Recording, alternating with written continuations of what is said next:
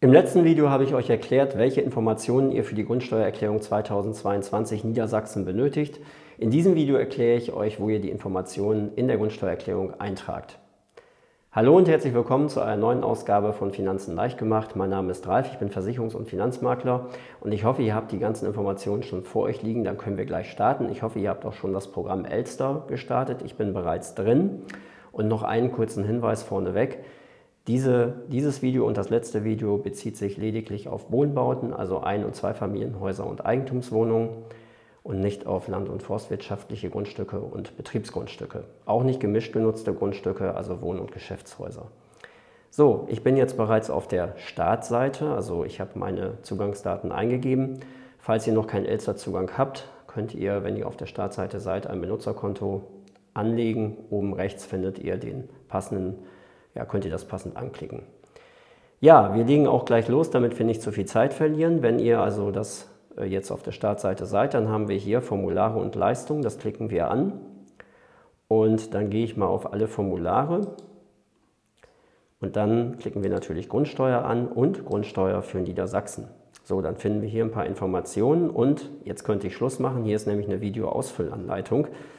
Auch nicht schlecht, aber ich habe euch ja versprochen, ich mache es mit euch gemeinsam. Deswegen klicke ich jetzt auf Weiter und wir gehen dann ohne Datenübernahme fortfahren und machen weiter und klicken dann die ersten beiden Vordrucke an. Das ist einmal der Hauptvordruck und einmal die Anlage zum Grundstück.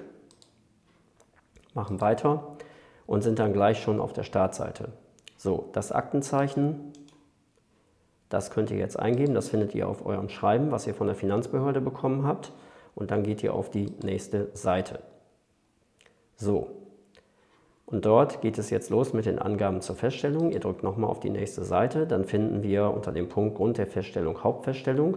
Das ist auch richtig, das könnt ihr so lassen. Und dann klickt ihr an den zweiten Punkt bebautes Grundstück, wirtschaftliche Einheit des Grundvermögens. So, da tragen wir jetzt schnell unsere Straße ein, da wo die Lage des Grundstücks liegt denke mir mal hier irgendeine Straße aus und ruhig meinen Wohnort. So.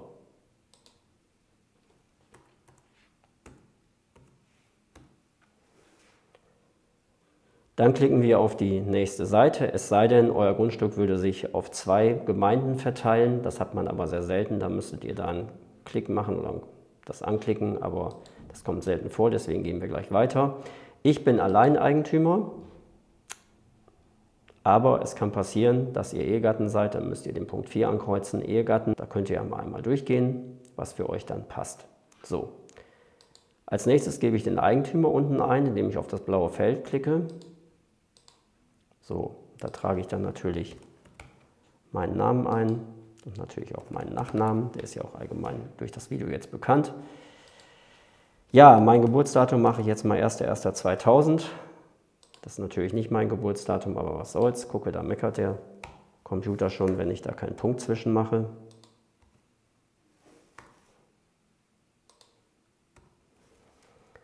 So, und auch hier gebe ich eine Musterstraße wieder ein. Die Postleitzahl, das ist ja kein Geheimnis, dass ich in Bad Essen wohne. Ja, wenn wir diese Eingaben gemacht haben, dann könnt ihr die Steueridentifikationsnummer eingeben. Die findet ihr auf dem Schreiben, was ihr von der Finanzverwaltung bekommen habt. Das hatte ich euch ja bereits im letzten Video gesagt. Und mir gehört das Grundstück voll, deswegen, gebe ich hier unten bei der Anteil an der wirtschaftlichen Einheit ein Eintel an. Wenn ihr Ehepartner seid und das gehört euch zur Hälfte, dann gebt ihr jeweils ein Halb an. So, dann bestätigen wir das. Und wenn ihr jetzt noch einen Miteigentümer hättet, zum Beispiel einen Ehepartner, dann müsstet ihr das Ganze nochmal machen, indem ihr hier draufklickt und den ganzen Vorgang wiederholt. Bei mir ist das nicht der Fall, deswegen gehe ich jetzt weiter auf die nächste Seite. Grundsteuerbefreiungen liegen bei mir nicht vor und Ermäßigung auch nicht. Das hat man unter anderem, wenn man eine Denkmalimmobilie hat oder wenn man vielleicht sozialen Wohnungsbau hat. Dann gibt es dort eine, eventuell eine Ermäßigung. Wenn ihr das habt, müsst ihr euch da müsst ihr das Feld anklicken. Ja, ergänzende Angaben zur Grundsteuererklärung wollen wir nicht machen und damit haben wir Empfangsvollmacht brauchen wir auch nicht und ein Profi hat auch nicht mitgewirkt und damit haben wir den Hauptvordruck erfolgreich beendet und kommen jetzt zur Anlage zum Grundstück. So, hier sind wir die einzelnen Punkte, die man abarbeiten kann. Wir fangen an mit Angaben zum Grund und Boden. Da klicken wir das erste Feld an und sagen jetzt, wo ist die Gemeinde, wo das Flurstück liegt, was wir eingeben wollen. Bei mir in Bad Essen. Und hier können wir jetzt die einzelnen Flurstücke eingeben. So. Und bevor wir das machen, das habe ich euch ja erzählt, gibt es ja diesen Grundsteuerviewer und da könnt ihr dann im Grunde genommen anklicken. Hier dann noch auf diesen grünen Button und könnt oben eure Adresse eingeben von dem Grundstück. Ich gebe jetzt natürlich nicht meine ein, sondern ich gebe jetzt die Adresse der Gemeindeverwaltung ein und dann öffnet sich dieses Fenster. Ihr findet hier euer Grundstück angezeigt, euer Flurstück und hier habt ihr auf der rechten Seite die Informationen. Bei mir ist es zum Beispiel so, bei meinem Grundstück, ich habe zwei Flurstücke und habe dann hier zwei Informationen stehen. So, dann klicke ich hier auf diesen grünen Button und bekomme alle Informationen hier nochmal übersichtlich, die ich dann auch ausdrucken kann. So. Und die können wir dann hier in das Formular eintragen. Ich nehme jetzt natürlich auch hier wieder irgendwelche Angaben.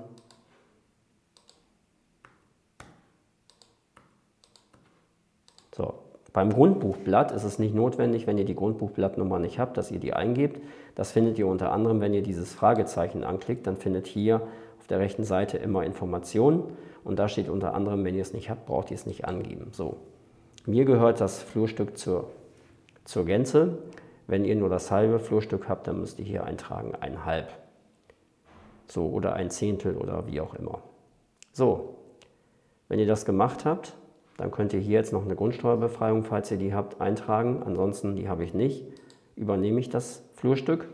Und wenn ich jetzt noch ein Flurstück auf dem Grundstück hätte, so wie bei mir war das sogar der Fall, dann müsste man das Ganze nochmal machen für das zweite Flurstück. So, ich übernehme jetzt diese gemeindebezogenen Aufstellungen und kann das hier abschließen. Hier unten ist noch ein Hinweis, wenn ihr mehr als 10.000 Quadratmeter Fläche habt, also Grundstücksfläche, dann findet ihr hier unter dem Fragezeichen noch den Hinweis darauf, dass ihr dann nur die überbauten Flächen angeben müsst. Welche Flächen überbaut sind, das könnt ihr hier entnehmen. Das ist bei mir nicht der Fall, also gehe ich hier weiter. So, dann geht es weiter mit den Angaben zu den Gebäuden und Gebäudeteilen. Da habe ich euch ja gesagt, ihr sollt die Wohnflächen ausmessen. So, ich habe ein Einfamilienhaus.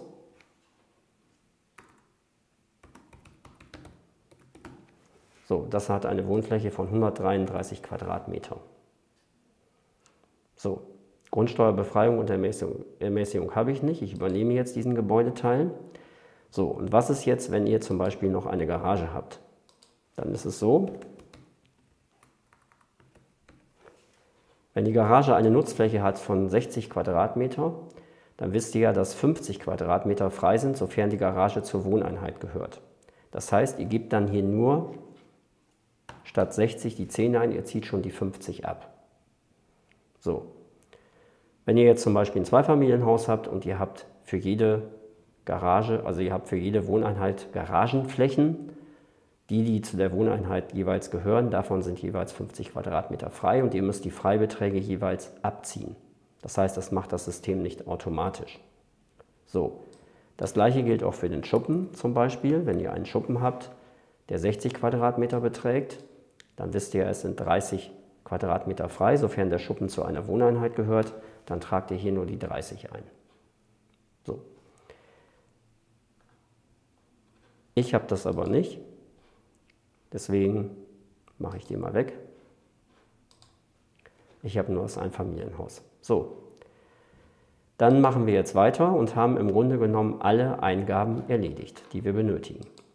So, wenn ihr Grundsteuerermäßigung habt oder steuerbefreite Zwecke oder Gebäude für den Zivilschutz oder ihr seid dabei, neues Wohnungs- und Teileigentums zu bauen oder zu machen, dann müsst ihr diese Punkte hier einzeln noch durchgehen. Ansonsten ist jetzt für die meisten das hier beendet.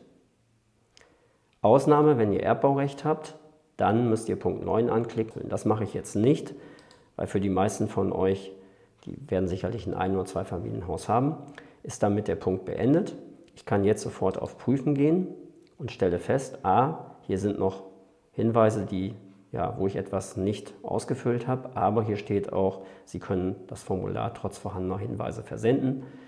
Deswegen, wenn alles grün ist, dann kann ich das versenden. Ich denke mal, die Grundbuchblattnummer wird fehlen. Schaue ich jetzt aber nicht nach. Ich gehe jetzt hier einfach auf Weiter, habe dann im Grunde noch mal eine Übersicht, was ich eingegeben habe und kann das Ganze dann, wenn ich möchte, absenden. Und wenn euch das Video gefallen hat, dann hoffe ich, ihr abonniert den Kanal und ich hoffe auch, ihr teilt das Video. Es gibt sicherlich den einen oder anderen, den dieses Thema interessiert. Wir sehen uns wieder im nächsten Video. Tschüss.